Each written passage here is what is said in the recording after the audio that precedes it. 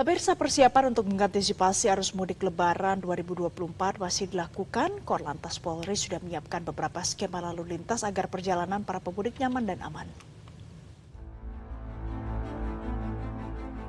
Persiapan untuk mengantisipasi arus mudik lebaran 2024 terus dilakukan. Dalam rapat koordinasi persiapan pengelolaan arus lalu lintas mudik balik 2024, Kakor Lantas Polri Irjen Pol Aan Suhanan menyebut jumlah pemudik diprediksi akan meningkat 5-6 persen dibandingkan masa lebaran tahun 2023.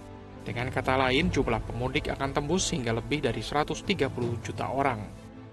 Bersama dengan beberapa lembaga seperti ASDP, Jasa Marga, Direktorat Perhubungan Kemenhub, dan PUPR, pihak kepolisian menandatangani surat keputusan bersama atau SKB 3 Menterian. Penandatanganan itu dilakukan dalam rangka persiapan pengelolaan arus lalu lintas dan penyeberangan masa Idul Fitri 2024. Kita melaksanakan penandatanganan ya, antara dari Bina Marga, Kementerian PUPR, Korlantas Polri, dan Dirjen Perhubungan Darat, kita sepakat untuk mengelola arus lalu lintas dan transportasi selama libur mudik eh, Lebaran tahun 2024 ini. Selain itu, Aan Suhanan juga menyampaikan bahwa pihaknya telah menyiapkan berbagai skema rekayasa arus lalu lintas pada masa mudik Lebaran tahun 2024 Salah satunya adalah akan memperlakukan one way hingga kontraflow mulai tanggal 5 April 2024.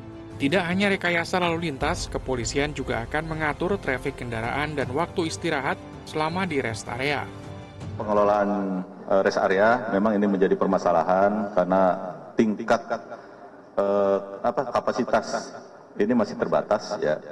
Maka perlu kita mengatur yang pertama uh, pengaturan di mulut atau gate masuk ke rest area, ya. kemudian pengaturan trafficnya di dalam rest area sehingga tidak numpuk di depan. Ini sudah kita sepakati ya di dalam tadi dengan pengelola rest area kita akan intervensi mengatur uh, traffic flow-nya yang ada di dalam rest area. Korlantas Polri berharap mudik lebaran tahun ini bisa berjalan lancar seperti tahun-tahun sebelumnya. Para pengendara juga diharap bisa mentaati peraturan lalu lintas agar perjalanan nyaman dan aman. Jelajahi cara baru mendapatkan informasi. Download Metro TV Extend sekarang.